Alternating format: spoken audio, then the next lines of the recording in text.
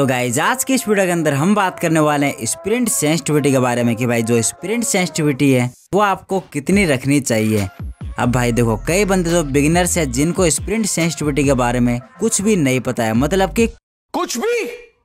और कई बंदे ऐसे हैं कि भाई जिनके लिए स्प्रिंट सेंसिटिविटी थोड़ी ना भाई कोई गर्लफ्रेंड होगी मतलब कि भाई चेंज करते रहते हैं कभी इस बंदे की सेंसिटिविटी देख ली तो भाई ये कर ली कभी दूसरे बंदे की सेंसिटिविटी देख ली तो भाई कभी वो कर ली। अब इस तरीके से भाई वो स्प्रिंट सेंसिटिविटी चेंज करते रहते हैं और अपने लिए परफेक्ट स्प्रिंट सेंसिटिविटी नहीं सेट कर पाते हैं। तो मेरे भाई चिंता मत करो, तुम्हारी भी प्रॉब्लम सोल्व हो जाएगी। बस वीडियो को एंड तक देखते रहो। और हाँ अगर चैनल पे पहली बार आए हो तो प्लीज़ चैनल को कर लेना सब्सक्राइब और साथ ही साथ बेल आइकन को भी दबा देना, क्योंकि ऐसी मज़ेदार वीडियो आपको इस चैनल पर देखने को मिलती रहती है।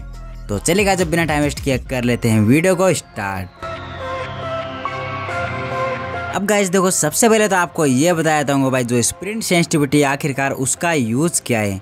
अब वैसे तो सभी बंदों को पता है, लेकिन फिर भी जिन बंदों को नहीं पता है तो भाई उनको एक बार बता देता हूँ।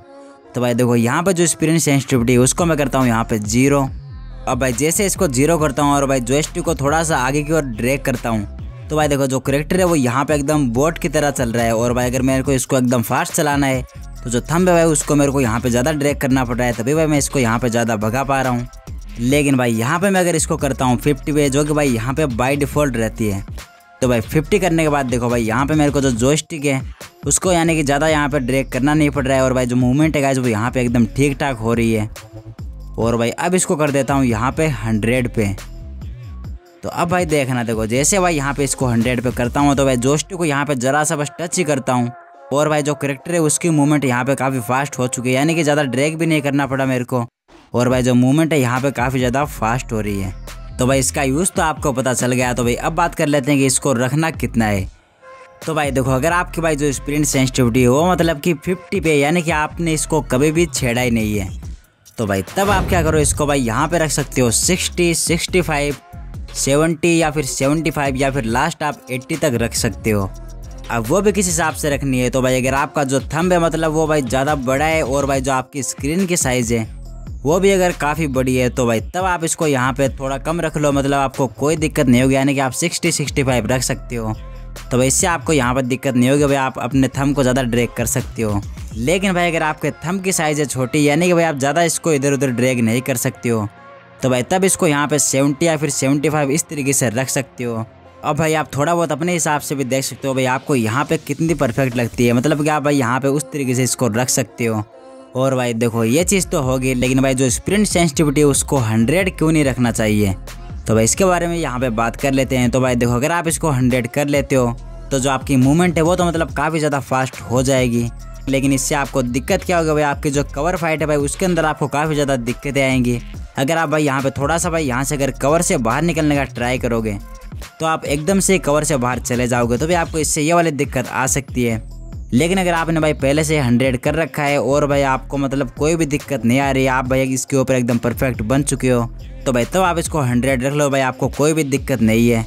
तो भाई इस तरीके से आप रख सकते हो। तो भाई अब बात कर लेते हैं कि जो बंदे इसको बार बार छेड़ते रहते हैं मतलब कि कभी किसी दूसरे बंदे की सेंसिटिविटी देख कर भाई उसको चेंज कर लेते हैं, कभी किसी तीसरे बंदे की सेंसिटिविटी देख लेते हैं तो भाई उसको चेंज कर लेते हैं। तो भाई इस तरीके से यहाँ पे वो बार बार चेंज करते रहते हैं तो भाई उनको यहाँ पे कितनी रखनी चाहिए? अब भाई देखो, जो स्प्रिंट सेंसिटिविटी है, वो आपने पहले से तो सिलेक्ट कर रखी होगी मतलब कि किसी की सिक्सटी हो सकती है। किसी के भाई यहाँ पे सिक्सटी फाइव सेवेंटी भाई इस तरीके से आपने यहाँ पे रख रखी होगी। तो भाई आपको क्या करना है भाई, देखो, आपको अगर मूवमेंट आपकी थोड़ी सी स्लो लग रही है तो भाई आपको इसे पाँच परसेंट बढ़ा लेना है। क्योंकि भाई देखो कभी कभी क्या होता है भाई देखो, आप खेलते रहते हो, और भाई कोई दिन ऐसा होता है कि भाई आपका जो कॉन्फिडेंस है मतलब वो काफ़ी ज़्यादा हाई रहता है। तो भाई, उस समय आप काफ़ी बढ़िया मूवमेंट कर पाते हो। मतलब भाई, अगर आपकी स्प्रिंट सेंसिटिविटी अगर फिफ्टी भी रहेगी तो भाई, तब भी आप काफ़ी बढ़िया मूवमेंट कर सकते हो। लेकिन कभी कभी ऐसा भी होता है कि भाई, आप मान लो कि उतरते एक दो बार मर जाते हो और भाई, जो आपका कॉन्फिडेंस है, वो वीक हो जाता है। तो भाई, उस वक्त जो आपकी मूवमेंट है वो आपको स्लो लगने लग जाती है। तो भाई, उस वक्त आप क्या कर सकते हो भाई, देखो तो सेंसिटिविटी उसको आप यहाँ पे पाँच परसेंट बढ़ा सकते हो। क्योंकि भाई, अगर आप पाँच परसेंट बढ़ा लेते हो तो भाई, फिर आपको भी ये लगेगा कि भाई, आपने यहाँ पे कुछ तो थोड़ा बहुत चेंज किया है। तो इस वजह से भाई आपके अंदर थोड़ा बहुत कॉन्फिडेंस आ जाएगा। तो भाई आप यहाँ पे पाँच परसेंट बढ़ा सकते हो। तो भाई आप इस तरीके से रख सकते हो। लेकिन भाई आपको ऐसा नहीं करना है कि भाई आपकी जो सेंसिटिविटी है वो सिक्सटी है। और भाई आपने डायरेक्ट उसको कर लिया यहाँ पे एट्टी पे। तो भाई आपको ऐसा नहीं करना है भाई। इससे आपका जो गेम है वो मतलब और भी ख़राब होगा। आपको बस यहाँ पे पाँच परसेंट बढ़ा लेना है। तो भाई इस तरीके से आप यहाँ पे इसको कर सकते हो। और भी आपको कोई भी दिक्कत नहीं आएगी। और हाँ भाई देखो, अगर आपको ऐसा भी लगता है कि मान लो कि भाई आप यहाँ पे कभी कवर की फाइट ले रहे हो और भाई आप अचानक से ज़्यादा ही कवर से बाहर चले जाते हो तो भाई इसको आप यहाँ पे कम भी कर सकते हो। मतलब कि आप इसको पाँच परसेंट कम कर लो तो भाई इस तरीके से आप इसको कम ज़्यादा कर सकते हो। तो भाई इस तरीके से अगर आप इसको रखोगे तो भाई आपको कभी भी दिक्कत नहीं आएगी और जो आपकी स्प्रिंट सेंसिटिविटी है, वो आप अपने हिसाब से खुद रख पाओगे। तो गाइज़ उम्मीद करता हूँ आपको वीडियो पसंद आया होगा। अगर आपको वीडियो अच्छा वीडियो को लाइक कर देना, साथ अपने दोस्तों के साथ शेयर कर देना। तो मैं चलता हूँ, मिलता आपसे नेक्स्ट वीडियो में, तब तक के लिए बाय बाय